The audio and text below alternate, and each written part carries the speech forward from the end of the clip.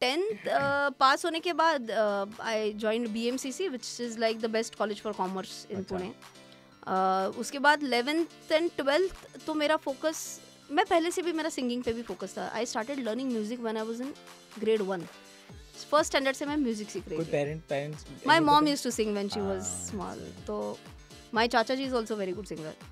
तो तब से सीख रही थी। तो टेंथ के बाद भी साइंस ना लेने की वो एक बड़ी वजह थी कि if I were to pursue a career in music क्योंकि तब वो तब तक वो क्रेज़ आ चुका था कि शायद म्यूज़िक में भी कुछ करना है क्या। तो मुझे म्यूज़िक का टीचर बनना था ये एक बीच में। हर school, आपको पता ही रहेगा ना? कॉलेज स्कूल स्कूल के टाइम पे। तो टीचर एंड म्यूज़िक का। अब तो क्या कह रहे थे? बदलता रहता है। हर हाँ, बार हाँ, इट्स इट्स सेम राइट मैं भी एस्ट्रोनॉट सोचा था। यार यार यार यार तू कितना कमाता है।